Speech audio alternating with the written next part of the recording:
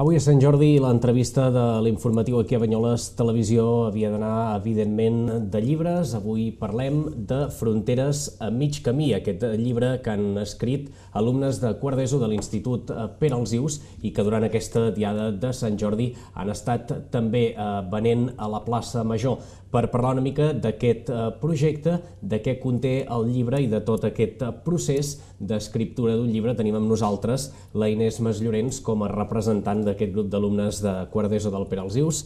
Inés, gràcies, benvinguda. Gràcies. Uh, bé, primer de tot preguntar-te com està anant aquesta diada de, de Sant Jordi.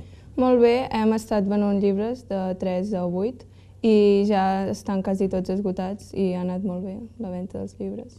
Molt bé, però tinc entès que llavors el, el que recolliu d'aquests uh, llibres també té una causa benèfica, no? Sí, uh, anirà destinats a associacions caritatives que treballin amb refugiats, com a ETO, Open Arms i Girona Cull. Mm, fantàstic. Uh, hem començat pel final, que és la Diada de Sant Jordi, però anem uh, al principi, uh, a l'origen d'aquest llibre. Explica'ns com neix tot plat, com sorgeix la, la idea de fer un llibre. Uh, els professors ens van proposar un, o sigui, ens van proposar un problema i era que en grups de cinc érem una família i cadascú era un membre de la família i havíem de decidir entre tots qui es quedava. Um, suposadament estàvem en un lloc on hi havia una guerra o algun conflicte bèl·lic i un, de, un membre de la família s'havia de quedar i no sabíem si escollir el pare, el fill, l'avi o quin havia de ser i vam veure que aquest problema és un problema que està passant a la vida real i vam decidir uh, fer-hi alguna cosa i va, per això és la idea del llibre i de vendre'l. Mm. Uh, quan, quan decidiu que volíeu fer alguna cosa doncs, relacionada amb els uh, refugiats una mica per, per col·laborar amb la causa, uh, per què us decidiu exactament per un llibre?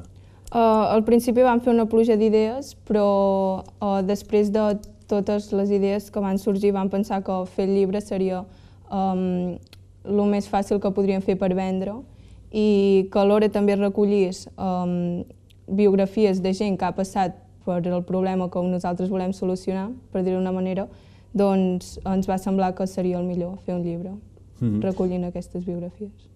Perfecte. Uh, més o menys ja ho has apuntat, però explica'ns una mica. La, la gent doncs, que li arribi a les mans Fronteres a mig camí, uh, què hi trobarà en el llibre? Um, és la biografia de 19 persones migrants o refugiades que han vingut d'altres països i que ens expliquen com ha sigut el seu viatge des del de, seu país fins aquí i podem trobar que hi ha aventures molt dures, altres potser menys, però um, tots han hagut de passar una situació força dura per poder arribar fins aquí. Mm. Uh, ha estat gaire difícil contactar doncs, amb aquestes persones refugiades i que s'obrissin uh, a vosaltres per explicar-vos doncs, aquestes històries? Um, al principi ens va costar molt trobar persones que no fossin d'aquí per poder entrevistar-les, i però un cop vam agafar, vam, vam anar cada vegada trobant més, més i més gent, i al final um, jo crec que aquest ha sigut el primer problema que van tenir, i tampoc n'hem tingut tants, sinó després, bueno, després de trobar les persones els vam uh, passar per escrit, les biografies, i sí, això. Molt bé. Uh, Explica'ns també, abans parlaves de, de històries uh, molt dures. En aquest sentit, uh, a, a tu personalment, uh, hi ha hagut alguna, alguna història que t'hagi sorprès en particular? Um, sí, hi ha un nen que, bueno, un adolescent com nosaltres, que el vam entrevistar i ens va dir que venia del Marroc i tenia pràcticament la nostra edat quan va fer aquest viatge, tenia 15 anys, i va haver d'amagar-se entre mercaderies de vaixells per poder arribar i va haver de deixar la seva família i tot el que tenia enrere per anar a un país que en realitat no sabia si arribaria, si era com la gent ho deia i no sé, aquesta va ser una història que no sé, a mi em va tocar bastant perquè no sé, jo penso si jo ara ho hagués de deixar tot i anar-me'n a un altre lloc potser no em veuria capaç de no, fer-ho. No, és, no és fàcil. Uh, també, a part de les històries, eh, explica'ns com ha sigut aquest procés d'escriure de, un, un llibre. No sé si ha sigut eh, més difícil del que us pensàveu, com, com ho heu viscut tot plegat? Um, bueno, primer fèiem les entrevistes, que va ser potser el que ens va costar al principi, trobar gent, i després les passàvem escrit i vam haver d'estar moltes vegades um, revisant-ho, mirant que no hi haguessin errors, uh, vam llegir el llibre moltes i moltes vegades i sí que va ser difícil perquè, clar, treure un llibre no és gens fàcil, però al final entre tots ho hem pogut fer i ho hem pogut tirar endavant. Mm. Uh, D'acord. Uh, per acabar, uh, no sé si, si això més o menys uh, ho tens, uh, ho tens clar. Uh, hem dit avui aquest llibre s'ha venut durant la Dia de Sant Jordi.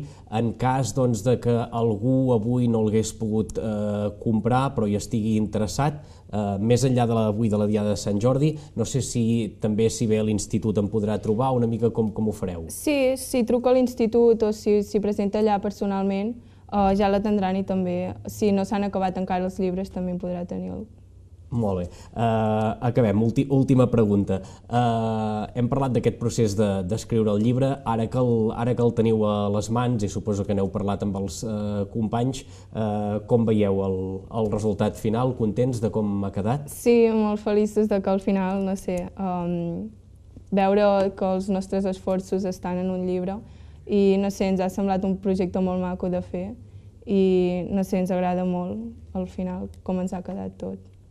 Molt bé, Inés, doncs uh, moltíssimes gràcies per, per venir, uh, per fer l'esforç, que sé que posar-se davant les càmeres uh, no és gens fàcil, i enhorabona uh, a tu i als teus companys per aquest uh, llibre, per aquest projecte tan, tan interessant, uh, sobretot doncs, per, perquè la gent conegui de, de primera mà aquestes històries que a vegades sembla que ens poden quedar molt lluny i les tenim molt més a prop de, del que ens pot uh, semblar moltes vegades. Gràcies, Inés.